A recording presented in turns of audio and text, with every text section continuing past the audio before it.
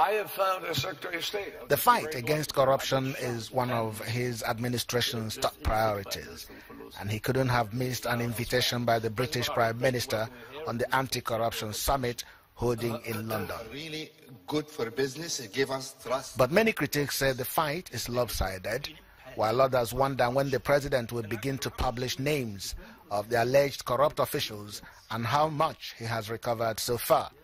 So far, what has come out, what has been recovered uh, in whatever currency, uh, from which ministry, from which department, from which individuals.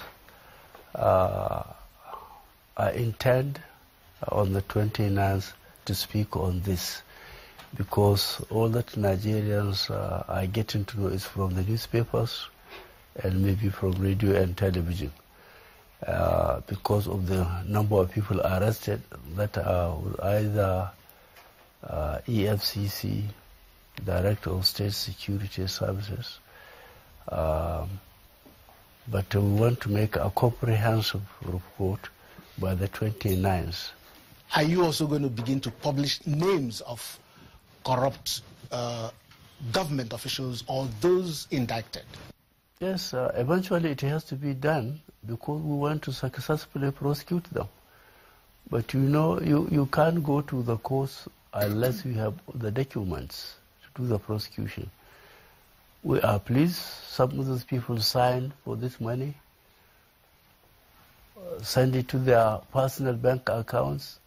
Their banks uh, gave a statement, yes, the money is there when it came, how much of it has been removed, and so on. The president makes reference to the 2016 budget and the fact that if he had not uncovered the padding of the budget, corruption would have crept into the 2016 budget, blaming it on technocrats. I never heard that word padding until this year. I never. Well, about you heard the president there specifically saying that those names, who they came from, how much money was going to be published. He was going to do that on the 29th, but it didn't happen. Well, uh, two things. I think this uh, we have received the greatest help from this clip you showed uh, a short while ago because uh, it then tells uh, the viewer and the critic that the president didn't say you will hear from my mouth names. He said we will publish. The president has given authorization. Names will be published. There's no question about it. It's going to come the president, the, the Minister of Information has been given the specific directive. Mr. Shehu, you see, the thing about the situation now is that Nigerians trust the president to follow through on specifics. And specifically, the president said May 29. This will be, the report will be made known mm. May 29. Today is the 30th. The president didn't do that yesterday. And you say it will be. When will it be? What specifics? And how do you expect that the Nigerians who are hearing and seeing that report would even believe that it is true? Would there be a pictorial representation? Would there be specifics that will be followed through? Well, uh, I guess uh, the, the, the, you in the media would help the government uh, to present the, the, true situation that obtains with the government. It's, I think it's more complicated than being a simplified process. Uh, there are obviously, there could be a number of countervailing circumstances. Uh, the Minister of Information said that the, the, the, President was concerned about judicial implications of some of these disclosures. It, it, it, could have been, I am aware that less than 24 hours be before he read his speech, of course, he had meetings with the high-profile, you know, judicial officers and all of that. Could have been that that was that was the reason. However, you know, with the, with the government, we had the President Umaru Yar'Adua, may God bless his soul, in this country. He announced to this country that I'm going to declare emergency on electric power. President Obama said, I'm going to shut down Guantanamo Bay in one year. Sometimes the parliament comes in and then says, don't do this, the judicial look th- there are so many interfaces uh, that are involved in this process and it's not as easy as that the important thing is the president has not said i have cancelled my promise to give this disclosure this is a matter that will come you asked for specifics i can assure you that within the next 48 hours wednesday latest thursday all of the information that is required that is involved in this will be put before Nigerians by the Minister of Information. Well, you said there's uh, progress made in the fight against Boko Haram. Are we going to get specifics in terms of who are the sponsors of Boko Haram? If they are known, the president will have no reason to hide them from the Nigerian public. As a matter of fact, an ongoing review and investigation is uh, going on in the Office of the National Security Advisor. And uh, and, and, and people who claim that they have new information are being listened to. Well, if there's any information that the public needs to know, the president has no, has no reason to hide it from them. Well, you know, at the time we said that uh, while they referred to that one year, whether or not it's a lost opportunity or not, there were specifics uh, in the party manifesto. You had said you were going to specifically create 3 million jobs. You had said you were going to employ 100,000 policemen. You also did say they were going to generate about 40,000 megawatts of electricity between uh, four to eight years.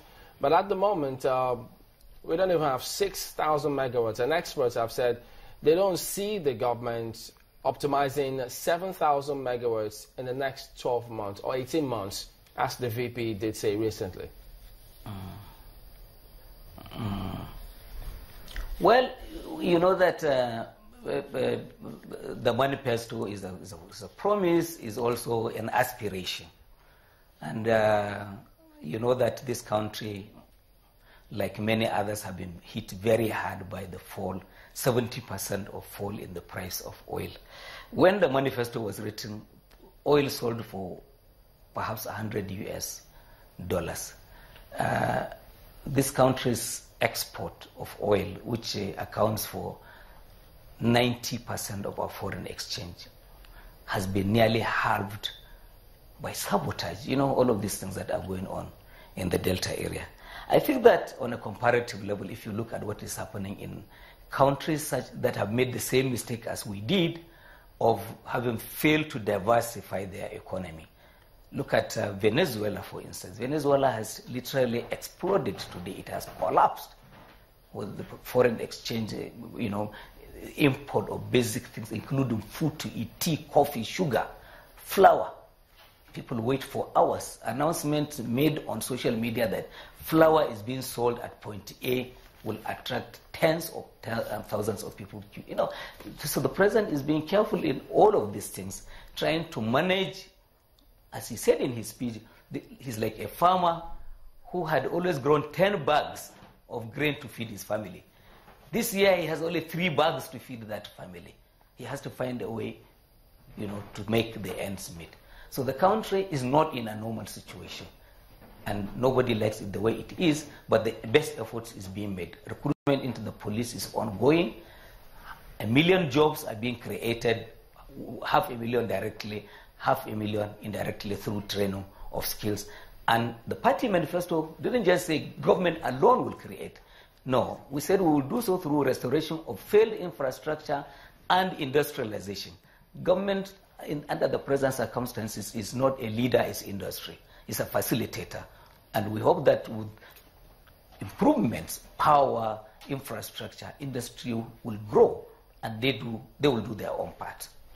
All right, let's wrap up briefly because uh, there are those who say even the ones that were not going to have a direct impact on funds has not been done. But in winding down, what would you say to those who say, We've listened to all the government has said in the past one year. We've seen the promise made in the past one year. We've seen the way the economy is going, and they just think they're not satisfied with what has happened in the last one year. Well, they shouldn't. They, they shouldn't give up because the president is a fighter. Look, to be president, he ran for election three times and supposedly failed in all circumstances before he eventually won. He's, not, he's not a quitter. So the, the thing then to do is uh, Nigerians should, should have hope that we'll get better. There's a lot that is going on to diversify the economy, grow agriculture. The president aspires to stop the, the importation of rice and sugar in, a, in about three years, as he said in that speech. Money and all of our foreign exchange and will be plowed into the growth of industry, and that will lead to job creation and, and, and better fortunes for everyone in the country. This country has great future, and, and, and the, the president is in pursuit of that. All right, uh, thank you, Garba Shehu, Senior Special Assistant to the President on Media and Publicity. Well, that's the show today. We thank you all for watching. We'll be back tomorrow. I'm Chamberlain, Usoh. I'm Neo Taibwe. Thank you for watching. Many thanks. I'm Sulaiman. Uh, later. See you again.